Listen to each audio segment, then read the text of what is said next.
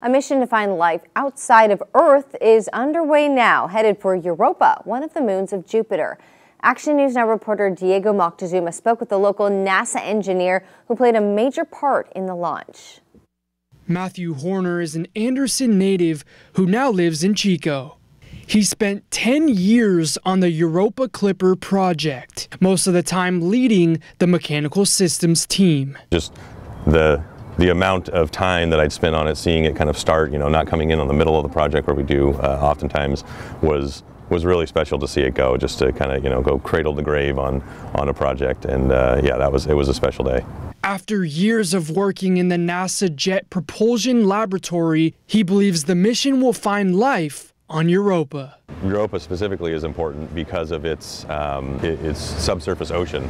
So it's probably the best place we have in our solar system right now to find life. You know, we've been searching on Mars for years and years and decades, um, and Europa is, is our next big chance to go look and see if we can find life. So Clipper won't specifically look for life, but it'll be able to tell us if it has the ingredients um, that life could have formed.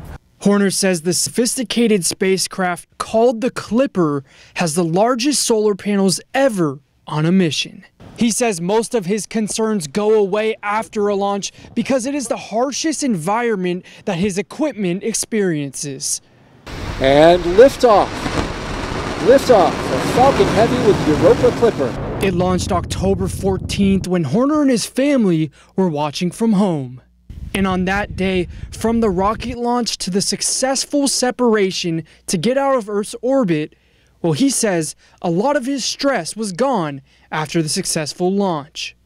That, uh, that shot from the launch vehicle camera that was actually on the SpaceX rocket, uh, where you see it separate and kind of going away, that's, that's the last shot you'll ever get. So it's a, it's a very cool moment to see your hardware leaving, leaving Earth and, and for the last time you'll ever lay eyes on it. Horner's job was making sure that the satellite parts are able to withstand the journey to Jupiter and the planned 49 flybys to the moon of Europa.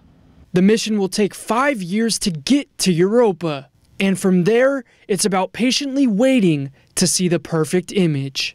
He says they won't be able to confirm good scientific readings until about 2030. The mission plan is to orbit Jupiter multiple times, kind of stay out of that radiation belt, dip our toe in, take our measurements, and then come back out. And there's even a chance that the heat could cause blurry images. The clipper has to turn around from the direction it's going and slow down in order to get the first shot of Europa, fingers crossed that it is a clear enough image. Horner says it will be learning monumental science that we have never seen before.